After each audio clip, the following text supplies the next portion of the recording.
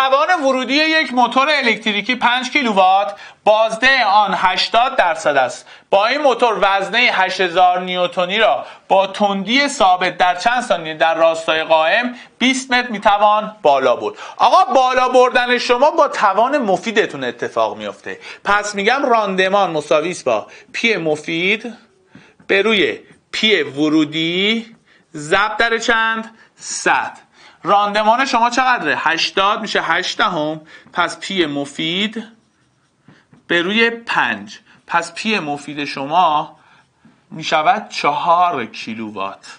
قبوله؟ خب.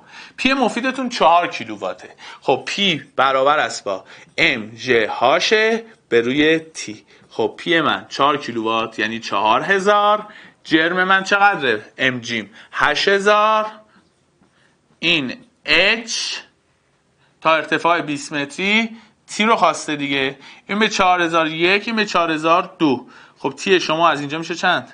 40 ثانیه. پس گزینه صحیح گزینه چنده؟ یک.